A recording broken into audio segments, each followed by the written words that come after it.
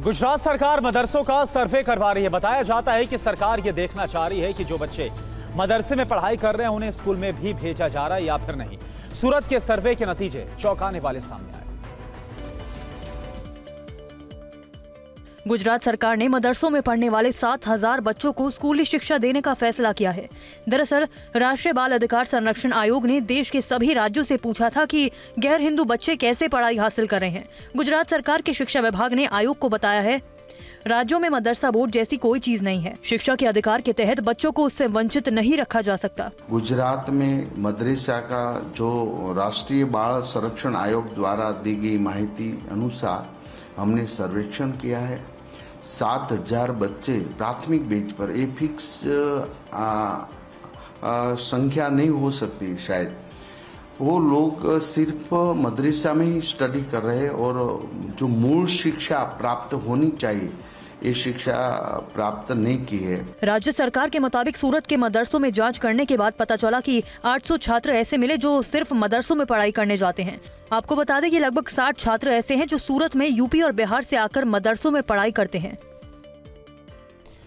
मध्य प्रदेश के जबलपुर में स्कूलों की मनमानी के खिलाफ प्रशासन ने बड़ी कार्रवाई की है।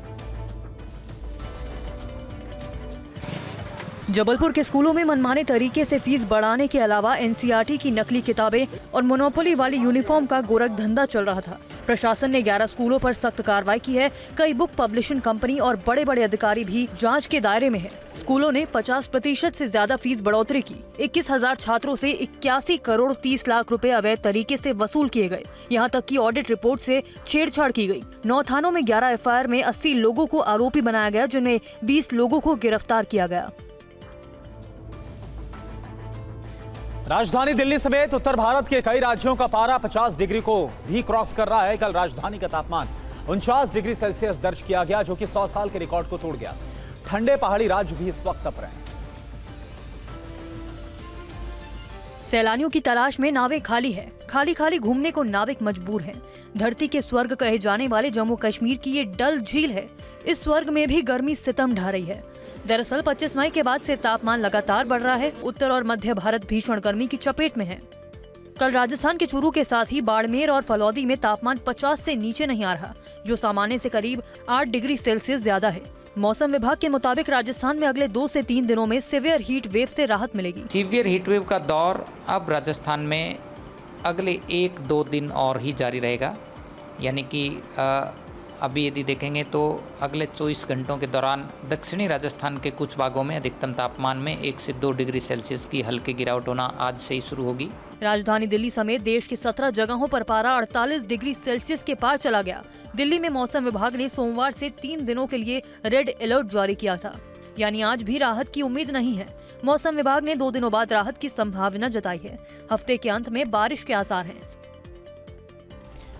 तो राजस्थान में गर्मी अपने चरम पर है, चिलचिलाती धूप और लू के कारण हाहाकार मचा हुआ है। राजस्थान के चूरू में हीट वेव और लू के कारण घर से बाहर निकलना मुश्किल हो रहा है। आसमान से बरसती आग की वजह से जनजीवन अस्त व्यस्त है। चूरू में तापमान 50 डिग्री के पार पहुँच चुका है। गर्मी को देखते हुए जगह जगह छाँव की व्यवस्था की गई ताकि आम लोगों को गर्मी से राहत मिल सके। वहीं सड़कों पर भी पानी से छिड़काव किया जा रहा है। सड़कों पर सन्नाटा पसरा है।